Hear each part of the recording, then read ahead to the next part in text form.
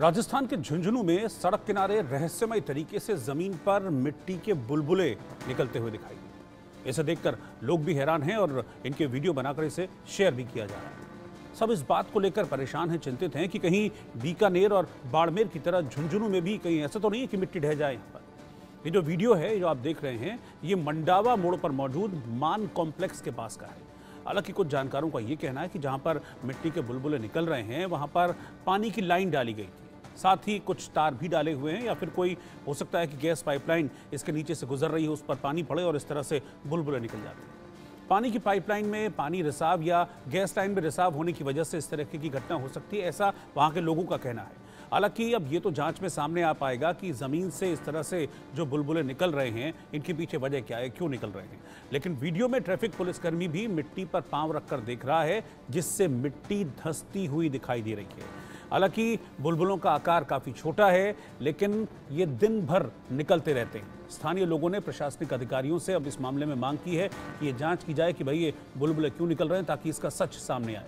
जिस तरह से बीकानेर के सहजासर में मिट्टी धंसी और बाड़मेर में लगभग तीन किलोमीटर ज़मीन फटी, उससे पहले ही लोग घबराए हुए हैं। अब झुंझुनू में ये जो रहस्यमय बुलबुलें निकल रहे हैं, इसने लोगों के डर को और बढ़ा दिया। आप देखिए कि जैसे ये बुलबुले निकलने लगे, वहाँ पर मौजूद जो लोग थे, आसपास से गुजर रहे थे, वो सब अपने अपने मोबाइल निकाल कर ये वीडियो बनाने लगे और कुछ ही देर में ये वीडियोज़ सोशल मीडिया पर वायरल भी होगा। आप देखिए कि ट्रैफ़िक पुलिस कर्मी है, ये इन बुलबुलों की एक तरह से जाँच कर रहा है कि आखिरकार क्या वजह है, बुलबुलें क्यों निकल रहे हैं। इसने पैर भी मारकर इन बुलबुलों को शांत करने की कोशिश की, लेकिन फिर से ये बुलबुलें निकलने लगे। जहाँ पर पैर रखा, वहाँ पर हल्की ज़मीन भी धसी। बीकानेर में हमने देखा था, सत्तर फीट गहरा गड्ढा एक हुआ था। उसको लेकर लोगों के बीच डर था कौतूहल था बहुत सारी बातें हो रही थी। फिर बाड़मेर में हमने देखा कि तीन किलोमीटर तक ज़मीन थी, वो फट गई थी, जिसमें खेत वगैरह बहुत सारे आए थे, उसमें भी जियोलॉजिकल विभाग की टीम जाँच कर रही है। अभी तक उन, उस, न बीकानेर के गड्ढे का रहस्य पता चला है, न बाड़मेर की दरारों का रहस्य पता चला है।